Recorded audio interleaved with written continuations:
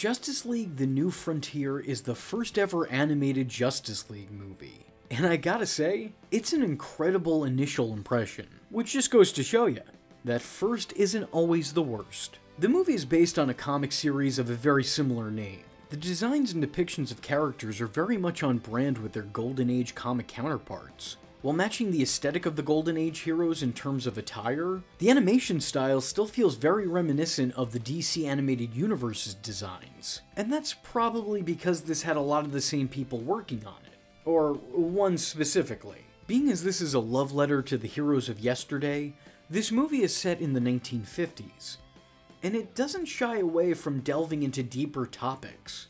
The movie does a good job of properly portraying these early versions of these iconic characters, but it does so in a very interesting way.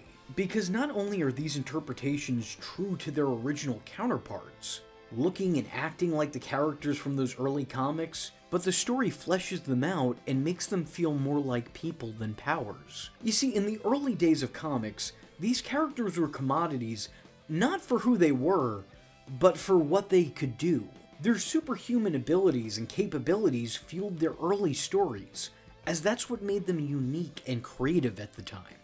On top of that, in their infancy, these characters were made for children, so they didn't always deal with adult issues. And if and when they did, they typically did so with kid gloves. But this project takes the characters from that day and exposes them to the issues from that day, and issues people like them probably would have faced had they existed during the times of their creation. It's centered around the political landscape of the time, and deals with themes such as alienation and prejudice, not brought on by hatred, but rather by fear. It also shows these heroes' struggles, and them doing what's right, even if it's not always agreed upon by their peers about what is right in every given situation. It does justice to the Justice League, and adds a depth to the early iterations of these characters that wasn't present otherwise. What I love most about this is that it showed that even in their early years, these characters were capable of being in complex stories with little to no alterations. Without a need for modernizing these characters, without a lot of progress and development they've made over media. Which is definitely not something I would have thought otherwise. If you would have asked me prior to watching this if Golden Age Batman, Superman, and Wonder Woman could tackle somewhat serious issues, I wouldn't have even taken that question seriously. To me, in their incarnations, they were surface level supers. I'd never expect to see them deal with such depth. We see some of these characters conflicting moral compasses, not allowing their friendships to change or shape their convictions initially. As Wonder Woman liberates a bunch of women who are made prisoner and used by rebels, not only giving them their freedom, but giving them access to the weapons of their enemies while she looked away. As he sees this action as rogue vigilante justice, Superman understands why she's done what she's done, but still can't help but see this as a reason for concern, and maybe even a betrayal to the oath that she had taken. Back home, Diana's not gaining any popularity either, as her time away from Themyscira has led to some of her peers believing she's more American than Amazon almost making her an outsider wherever she goes. But she handles that criticism with all the confidence that you'd expect Wonder Woman to, showing her competition that she's up for the challenge. Martian Manhunter is plucked from his planet and brought to ours, where he lives in hiding, an alien alienated from a society that is alienated by aliens. And yet, incognito, he tries to live amongst them and help them to the best of his abilities, knowing that those around him hate him for merely existing and daring to be different. Even Batman seems to go through a little bit of an identity crisis here, after seeing how much fear his appearance drives into the heart of not only the corrupt, but the innocent as well. Batman adapts a much friendlier looking ensemble. Hal Jordan is considered a coward by his peers for not seeing action during his time in war. But his lack of war stories don't come from a cowardice or inability to kill. They come from his unwillingness to take the lives of those he deemed innocent, as Hal didn't agree with his country's decision to go to war. Despite being out in the trenches, Hal Jordan only winds up taking a life once the war is already ended, and only did so as a means of survival. What is seen as cowardice by his peers is seen as courage by Lantern Corps. And for knowing and appreciating the value of life, he is made a Green Lantern. Costumed heroes, in spite of their selfless heroics, are often treated as less than human. The Flash is almost taken in by the government so they can experiment on him and learn how his powers work. So, in fear for his family, he retires from the mantle, only to eventually be convinced back into costume by that very same family he swore to protect. The plot centers around an entity known as the Center, a being who has witnessed the birth and evolution of mankind. And after seeing the damage humanity has done not only to the planet but to their own species, polluting the world with war and violence, it ultimately decides that the human race needs to be eradicated.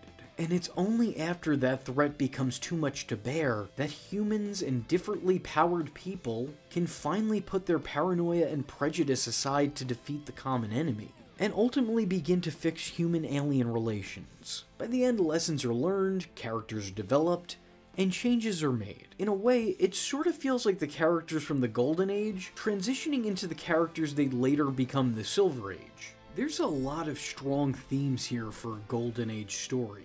I also wouldn't expect the adult themes this movie had in store. Sure, it may cut to shadows or use techniques to not show the brutality of certain situations, but even then, that's not always a guarantee. Nonetheless, this gets pretty intense for a JLA story. This was strange to see when I'm so used to seeing the more campy run of these characters. It was surprising, but not completely unwelcome. The movie wasn't excessive in its violence, it never feels like it goes overused. It feels like it was carefully crafted, and the violence was only added in to add to the severity of each moment. The movie also provides some beautiful imagery of these classic comic icons, some of which genuinely look like they could be comic covers of the time. Though granted, considering this is an adaptation, a lot of these moments are pulled directly from actual comic panels. The cast is pretty interesting. There's a lot to talk about on that front. Alan Ritchson returns to the role of Aquaman, a part he played previously on Smallville, which came as a shock to me. Because I remember at the time, despite getting positive reception for his time in the role at first, when Smallville creators wanted to spin off the show and make an Aquaman series, it was thought that his performance wasn't strong enough to carry a show. So to see him used in a major and much more accurate DC production is a little shocking to say the least. Granted, it's a bit part, but still, not the voice I thought I'd hear coming out of that character model. Miguel Ferrer, who played the Weatherman in the Justice League live action show pilot, and the Weather Wizard in Superman the Animated Series, plays Martian Manhunter here.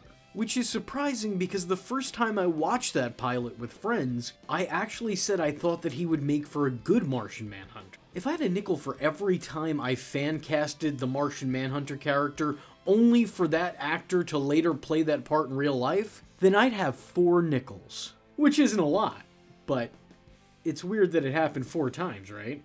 And speaking of Martian Manhunter in Smallville, the Martian Manhunter from Smallville, actor Phil Morris, plays the part of King Faraday. He also played Vandal Savage in the Justice League show. Lucy Lawless, who is widely considered to be the greatest Wonder Woman there never was, was in fact Wonder Woman. This has been a fan cast for years prior, and even after this. And Lucy herself has been one of those fans casting. And you know what? She's every bit as good as you'd hope for her to be. She comes across like a strong leader, not shy of making the hard decisions for the betterment of people everywhere. I think her sense of justice here definitely teeters more into the realm of vigilantism, but not to an extreme, as she treats goodness with good and the wicked with wickedness. You can understand how she could cause problems for the overall view society has on supers, but you can also see her creating solutions for the less fortunate. Neil Patrick Harris plays Barry Allen slash The Flash, joining Josh Keaton, Yuri Lowenthal, and James Arnold Taylor as being a voice actor for both The Flash and Spider-Man.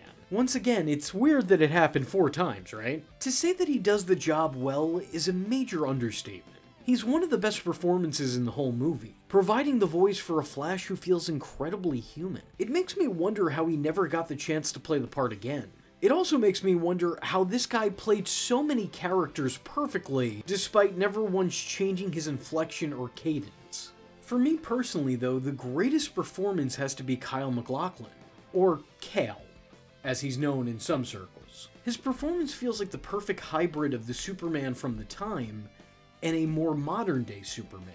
I think that statement pretty much sums it up, I don't really have a whole lot more to say. I'm just surprised by how seamless of a combination this is for him. Jeremy Sisto of Clueless fame plays the Dark Knight, and I don't necessarily love this portrayal generally speaking.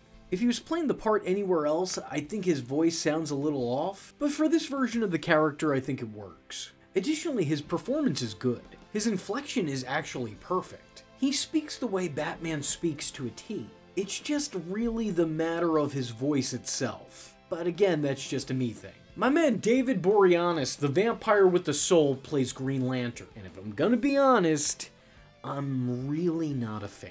Big fan of Boreanaz, but not him as Green Lantern. He seems like a little bit of a miscast here. But also, in general, I don't think he's all that great of a voice actor. He's definitely great in his own right when it comes to on-screen presentation, but when he's just voicing a character, there always seems to be some sort of disconnect. He always feels like he's just reading lines off a piece of paper rather than articulating and emoting what it is the character's feeling. But my biggest complaint about this movie is the simple fact that it feels too short. Each of these characters really have their own standalone solo story that ties into the greater narrative. And that's great. But perhaps as an effect of that, it means less time is spent with each individual character and their personal plights. So by the end of it, we can understand the narrative, but it hardly feels like we truly get to know the characters. It's impressive that everything in this story is so fluid given how many characters we're following. Characters whose paths don't always cross, mind you especially when this doesn't take the time to explain all of these characters' dynamics, just simply dropping the viewer into an already established universe with pre-existing friendships and alliances. By the end of it, I just feel like I didn't see nearly enough of these characters in this time period. And speaking of time periods, the passage of time in this movie feels a bit unclear.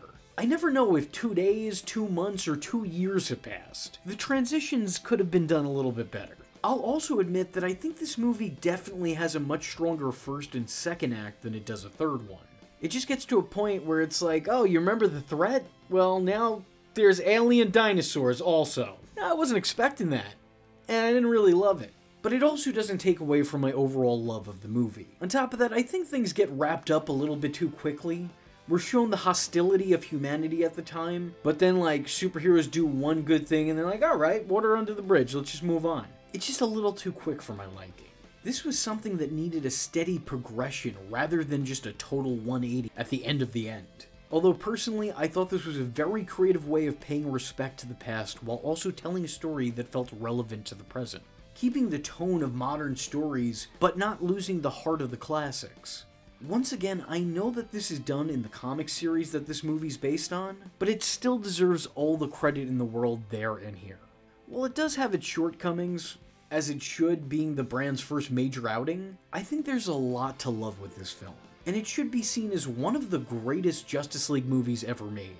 With that being said, if you like this video as much as I liked making it, and you want to see more Justice League content here on the channel, let me know in the comment section below by leaving a comment saying, We're like the Justice League. I am vengeance. I am the night, and that was Vee Infuso. Just remember, if you're not tuning in, then you're missing out. So, if you like the words that came out of his mouth hole, and you too would like to become a Veegenerate, don't forget to like and subscribe. Thanks for watching, nerds! And if you're not joining the fun, you're in for one bad day. And you know what they say about having one bad day?